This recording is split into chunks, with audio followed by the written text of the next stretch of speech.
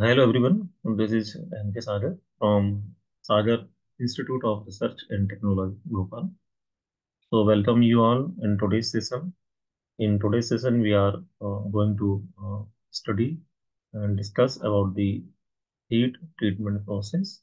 And under the heat treatment process, we will discuss about the classification of the heat treatment process and some critical temperatures uh, for the uh, heat treatment processes. And uh, in the earlier sessions, uh, we have covered the introduction part of the heat treatment process and uh, the what are the stages of the heat treatment process. And also we have discussed about the cooling, different cooling mediums for the heat treatment process. So let us start today's session with, with the heat treatment process. How the heat treatment processes are classified. So this is the classification the heat treatment processes are classified into two categories. Namely, one is uh, bulk heat treatment process and uh, another one is a surface heat treatment process. So these are the broad categories uh, in which the heat treatment processes are classified. So what is bulk heat treatment process? The bulk heat treatment processes are carried out for getting the desirable conditions in the whole alloy or metal and or component. And this is the internal phenomenon. It means uh, in this process, the whole alloy or component is considered for the heat treatment process. So such processes are known as bulk treatment process. The second one is surface heat treatment process. So these processes are carried out to improve the surface uh, properties, not internal properties. So we can say this, this is the surface phenomenon. So the surface heat treatment process is the surface phenomenon and the bulk heat treatment process is the internal phenomenon. This is the difference between bulk heat treatment and surface heat treatment processes.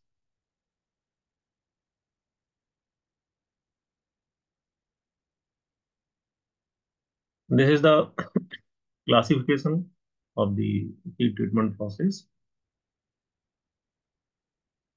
Heat treatment processes uh, classified into two categories. One is bulk and the surface. So under the bulk heat treatment process, there are different four processes known as annealing bulk heat treatment process, normalizing the bulk heat treatment process, hardening is the bulk treatment process and tempering is the bulk, treatment process. And further, the annealing process is uh, divided into subcategories that is known as uh, first stage full annealing or conventional annealing process or simply we can say annealing process. Under the annealing second sub-annealing process that, that is known as crystallization annealing. And the Third is stress, stress relief annealing process and spheroidization annealing process. So these are the four subcategories under the annealing process. And second is normalizing, normalizing, and third is hardening, or also it is known as quenching. And the Next is tempering process. Under the tempering, there are two processes, mar tempering and the austempering. so all these uh, four annealing type, four processes under the annealing and two under the tempering. These all uh, processes are the bulk treatment processes and these processes are applied to the uh, whole component or alloy. Right, under these processes, the whole part of the component is considered for the heat treatment. Now the next uh, heat treatment is surface heat treatment process. And under the surface heat treatment process, there are two processes, thermal surface heat treatment process and the next is thermochemical surface heat treatment process. Under the thermal process, there are flame uh, heat, heat treatment process then induction uh, heat treatment process, laser heat treatment process, and electron beam heat treatment process. All are surface heat treatment process. Under the thermochemical, there, there are carburizing, nitriding, and cyaniding. So these all are known as surface heat treatment process. And these heat treatment process, we will discuss one by one. First, we will cover the all bulk heat treatment process. And uh, after over the bulk heat treatment process, we will discuss about the surface heat treatment process. And during the discussion, uh, we will compare all the process, uh, one uh, the other process, how they they differentiate uh, from each other, and what are the advantages, what are the applications. All things we will discuss during the session. So this this was, this was the classification about the heat treatment process. Right now, this is the uh, heating temperature band for the different heat treatment process. In the previous session, we have discussed about the stages of the heat treatment process and uh, uh, stages under the stages of heat treatment process, we have studied about the three different stages for the, those are must for any heat treatment process. First stage we have discussed about the uh, heating, then second stage is holding or soaking, and third stage was cooling. So in the heating stage, uh, we have discussed that heating stage means the required component or alloy that is heated uh, up to a definite or uh, certain temperature. And at that time, uh, I reminded you all, I reminded you all that during the particular heat treatment process, uh, we will discuss about the this uh, certain temperature uh, definite temperature. So this diagram shows the certain temperature or definite temperature up to which the material required material or component will be heated up. So um, this is the uh, diagram taken from the FEC diagram, right? now you can see uh, this line represents the uh, eutectoid temperature temperature line because uh, this is the eutectic point at which the eutectoid reaction takes place. So the eutectoid point. This is eutectoid, point at which the eutectoid reaction takes place and eutectoid reaction is only the reaction that is responsible for the treatment because uh, this reaction gives the transformation from solid to solid. Now you can see above the eutectoid point, there is a austenite that exists in the uh, solid state and below the eutectoid point, you can also see the phase uh, exists in the solid state. So here, uh, before the eutectoid reaction, the phase is solid. After the eutectoid reaction, the phase is solid. So heat treatment for this alloy is possible, and this alloy is known as steel. Uh, at, at, the eutectoid point, uh, the weight percentage of carbon is 0.08 and the norm uh, the eutectoid point temperature that is T that is equal to 725 degree Celsius. So heating temperature, uh, these lines show uh, shows about the heating temperature. What is the limit of the heating temperature? So this line, uh, namely A3, this line represents the annealing and normalizing both process. It means when uh, we apply the heat treatment process, uh, annealing type or normalizing type to any uh, component or alloy. So it indicates the we have to heat that component or alloy up to this temperature. And we have to follow this uh, line. So this line represents the annealing and normalizing temperature limit. And on this side, uh, this line shows the normalizing temperature. If uh, we want to uh, go for normalizing treatment process, then we have to follow this temperature band. that is known as normalizing. And below the eutectoid line, this is the eutectoid, eutectoid temperature line. And below the eutectoid line temperature, the processes exists, uh, exists the, uh, known as spheroidization annealing process, recrystallization annealing process, and stress relieving uh, heat treatment annealing process. So these are the subcategories of the annealing heat treatment process.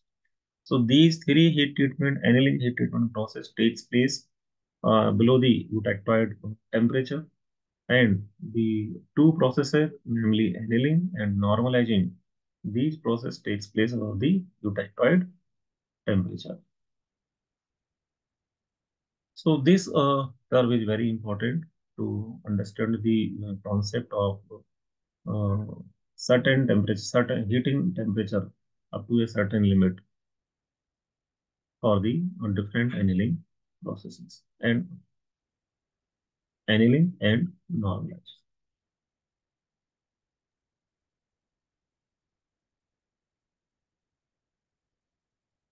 Yes, now these are the uh, few definitions. Uh, ACM line is also the critical temperature line.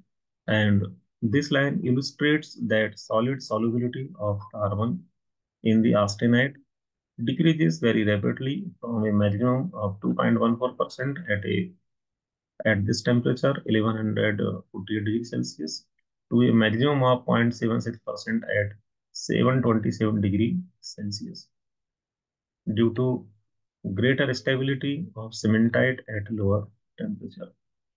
A1 A1 line, uh, this shows the upper limit of the ferrite and cementite phase field. This is horizontal line going through the eutectoid point. A1 is the horizontal going through the eutectoid point.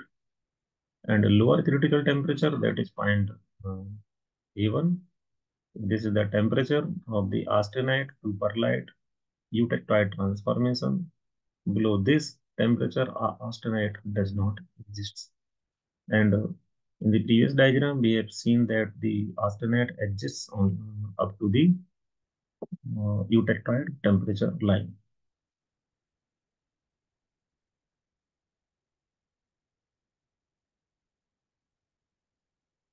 These are the definitions uh, regarding the uh, critical temperatures. What are the critical temperatures?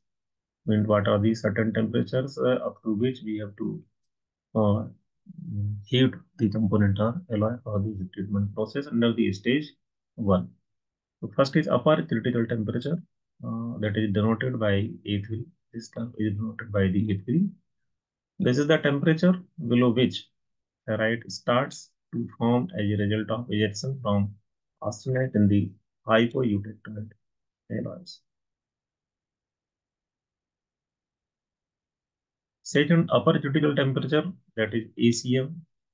And this is the temperature below which cementite starts to form as a result of ejection from austenite in the hypereutectoid alloy.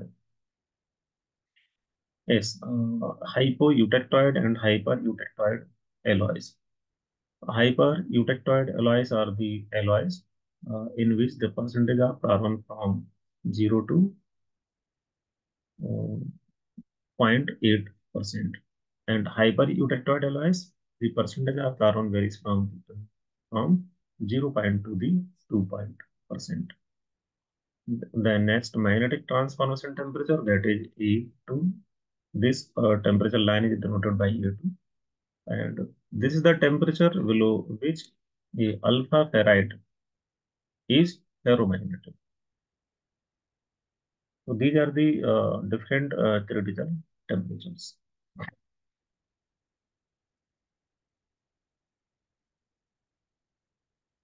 And now, uh, what uh, uh, we have discussed about the critical temperatures, and those are denoted by the A1, A2, and A3 curve. Now, this is the iron carbon diagram. Uh, all you have seen this diagram. Now we have to uh, check uh, A2 curve A1, A2, A3, where these curves exist in the iron carbon diagram. So you can see this line. Uh, this point is known as eutectoid point. This is the point at which the eutectoid reaction takes place. And uh, this line the, that goes uh, from the eutectoid point, this line is known as, this, is, this line is noted by A1. This is A1. Here, here it is mentioned A1. And this line uh, joining from 900 degrees Celsius to the eutectoid point, right? So this uh, this line is denoted by the um, A3. This is curve A3. And where is A2? A2 just above the A1. This is A2. About 50 to 60 degrees Celsius above the uh, eutectoid temperature, that is uh, 725, the curve A2 exists. exists. And uh, hypoeutectoid and hypereutectoid, you can see in this diagram. Uh, this is the bifurcation of hypoeutectoid still and hypereutectoid.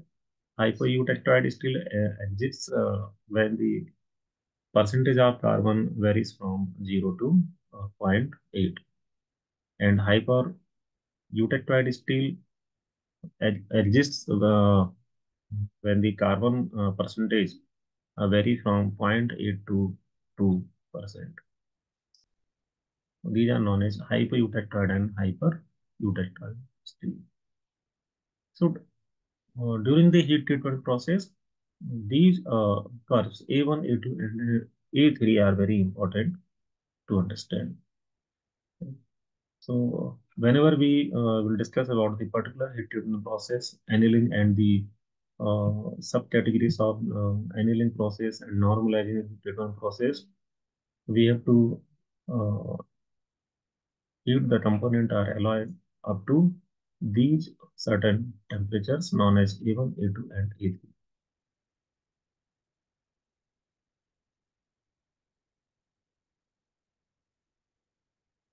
Okay, so thank you very much. And uh, let us conclude the session, what we have discussed in the today's session. We have discussed about the uh, classification of the heat treatment process in which we have discussed the bulk heat treatment process and uh, surface heat treatment process.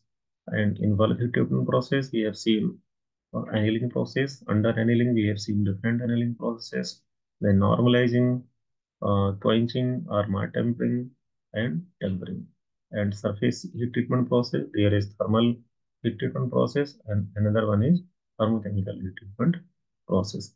After that, uh, we have discussed discussed about the uh, heating temperatures uh, for the heat treatment process. So what is the limit of uh, heat, heat uh, heating temperature? Up to which temperature we have to uh, supply heat to the component alloy under the stage one and uh, under the uh, then we have discussed about the some critical temperatures those are uh, denoted by the A1, A2, A3 curve on the iron carbon diagram. So thank you all of you. we meet soon in the next session. Thank you very much.